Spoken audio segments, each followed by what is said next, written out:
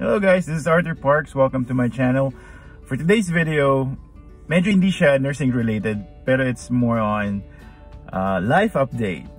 So, I have a good news for you guys. Uh, I got offer to work at a level 2 trauma center and medyo malayo siya dito sa Kokomo.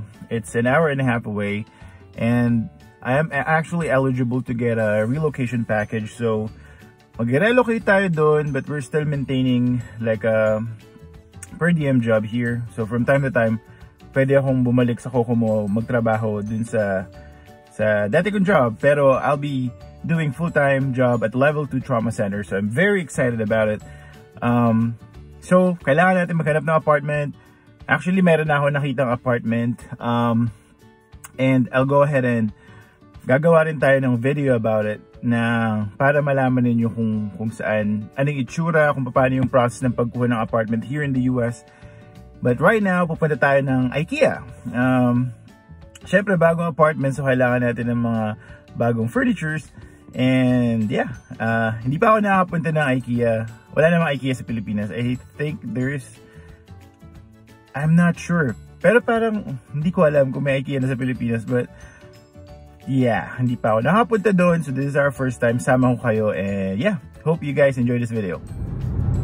Oh, ayan guys, sobrang kapal ng fog. Parang nasa Silent Hill lang tayo.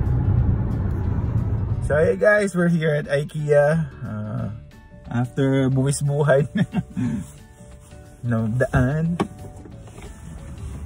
Sige, pasok na tayo. So we're here at IKEA. This is IKEA in Fishers. So check natin kung ano mga makikita natin sa loob. But basically since I already check uh, online, may idea na ako kung ano mga kukunin ko. So let's go ahead.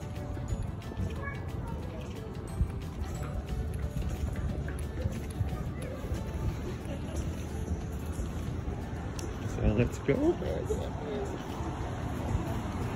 I can't.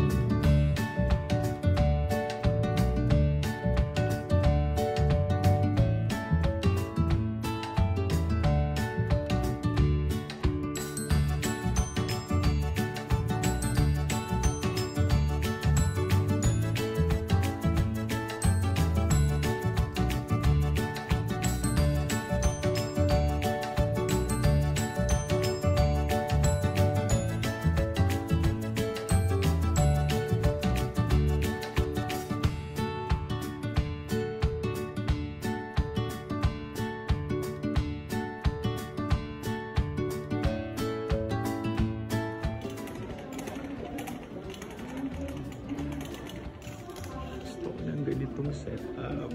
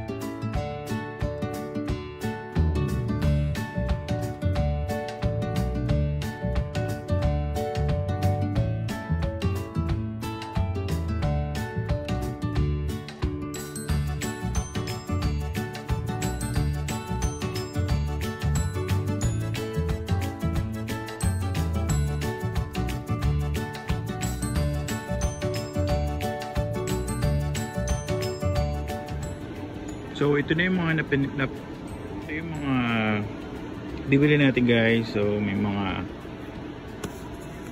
tawag dito. Um Shura tapos lagay ng TV, side table, salamin, mga kung ano-ano. Tapos yung sa bed, siguro Amazon na lang kasi mahirap i-assemble para medyo komplikado pero yan, tingnan natin kung magkano yung total nito. IKEA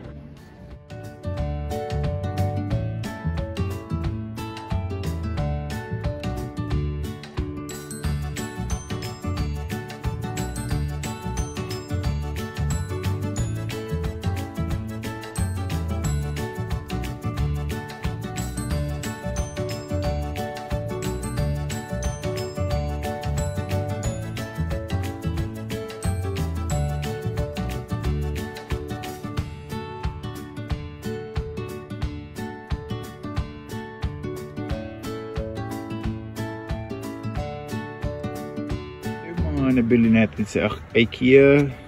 So nakabili tayo ng dalawang side table, isang coffee table, tapos shoe rack, and then lamp, yung mga yung parang salamin na tile. And uh yun, lamp.